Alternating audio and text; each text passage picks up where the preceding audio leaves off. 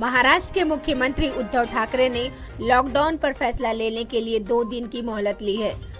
मोहलत लेने से पहले जिस अंदाज में सीएम साहब ने अपनी मजबूरियाँ गिनाई, उसे देखते हुए नहीं लगता महाराष्ट्र कोरोना के मामले में फ़िलहाल मज़बूत स्थिति में है। सीएम साहब ने जिस अंदाज में कहा कि इलाज करने वाले डॉक्टर और नर्स कहाँ से लाओगे, जिस रफ्तार से कोरोना बढ़ रहा है, मेडिकल संसाधन पंद्रह दिन में ही ध्वस्त हो जाएँगे। बेड्स कम पड़ने शुरू हो चुके हैं। राज्य की उप राजधानी राज्य की उप राजधानी से सबसे पहले बेड और खून की कमी की शिकायतें आने शुरू हो चुकी हैं। अब अगला नंबर, राजधानी यानी मुंबई का तय माना जा रहा है। चिंता इसलिए भी बढ़ जाती है, कोरोना के मामले में महाराष्ट्र देश में लगातार नंबर वन पर बना हुआ है। हालाँकि कोरोना वैक्सीन के मामले में भी महाराष्ट्र राष्ट्र में अव्वल नंबर पर है।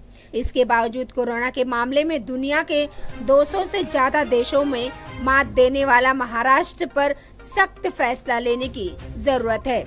लॉकडाउन पर सरकार में ही मतभेद है। कांग्रेस और एनसीपी के कई नेता सार्वजनिक तौर पर लॉकडाउन का विरोध कर चुके हैं, जिसमें भाई जगताप, प्रफुल्ल पटेल, संजय निरुपम जैसे नेता शामिल हैं।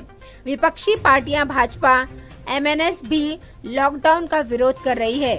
एमएनएस ने तो यहाँ तक कह दिया है, सरकार अपनी नाकामयाबियाँ छुपाने के लिए नाइट कर्फ्यू और लॉकडाउन का सहारा ले रही है। News desk, metro Mumbai.